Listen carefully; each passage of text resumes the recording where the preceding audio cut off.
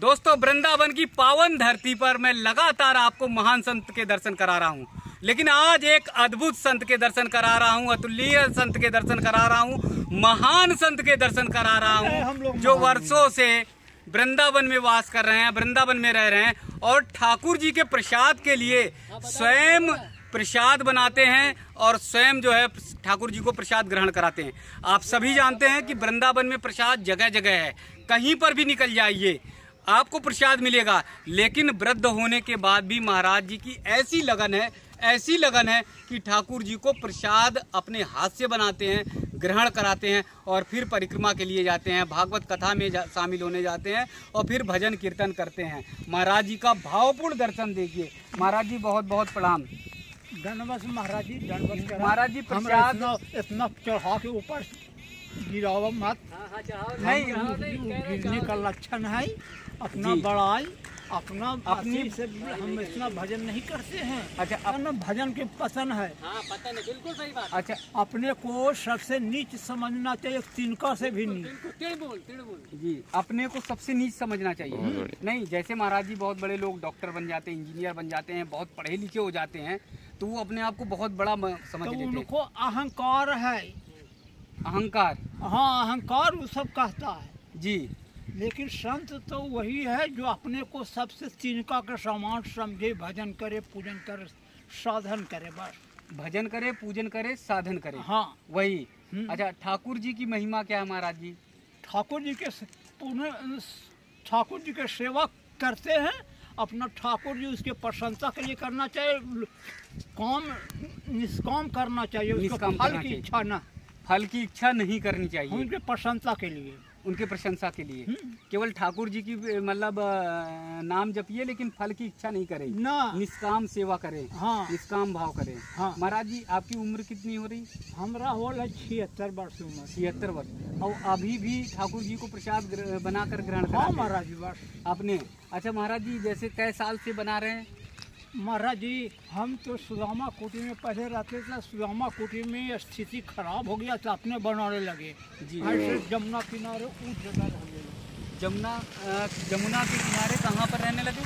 वहाँ पर। उस तो वजह से यहाँ आ गए।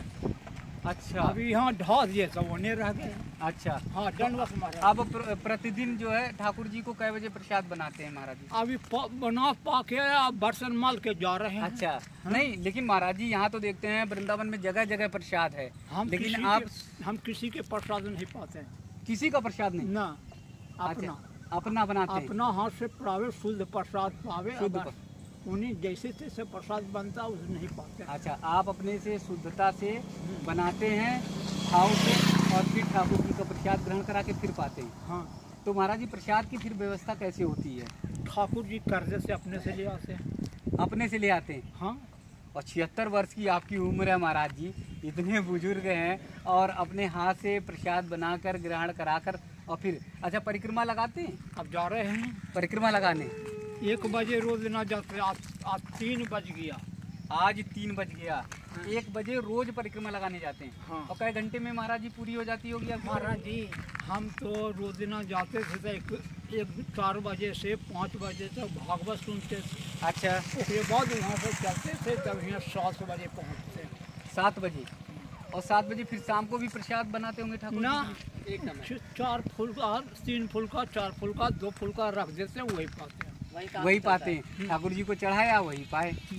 अच्छा तो लकड़ी पे बनाते हैं या गैस लक, लकड़ी पर भट्ठी बनाए हैं वो लोहा से बना दिए हैं। लोहा से? उसमें भट्ठी ऐसे बना दिए हैं लोहा दे दिए हैं। अच्छा। और उस पर रोटी बना लेते हैं अपना जे बन बना दे बना के अपना बस। जी और समर्पण कर दिया अपना ऐसे तो महाराज जी के दर्शन आप करिए महाराज जी का भावपूर्ण दर्शन करिए। छिहत्तर साल की उम्र है, लेकिन महाराज जी अभी भी प्रसाद स्वयं बनाते हैं, ठाकुर जी को प्रसाद ग्रहण कराते हैं। और देखिए महाराज जी, अनंत भक्ति में लीन होकर भावपूर्ण से जा रहे हैं। अभी भी प्रतिदिन का नियम है, महाराज जी का परिक्रमा लगाना, परिक्रमा लगा के शाम को आते हैं, फिर ठाकुर जी को प्रसाद ग्रहण कराते हैं, और फिर भजन कीर्तन में लीन हो जाते हैं। तो जिस पथ पर, जिस रास्ते पे महाराज जी जा रहे हैं, आप एक बार फिर दर्शन करिए। वो रास्ता, ये पथ, ये मार्ग जो है, ये हम सभी के लिए पावन है, हम सभी के लिए धन है।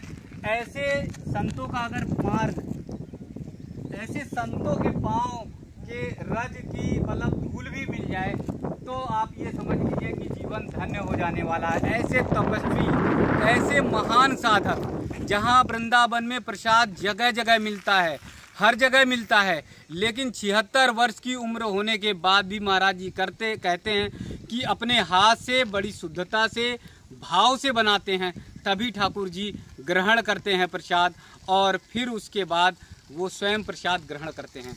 तो वृंदावन में ऐसे महान संत के दर्शन आप सबको लगातार मैं कराता रहूँगा।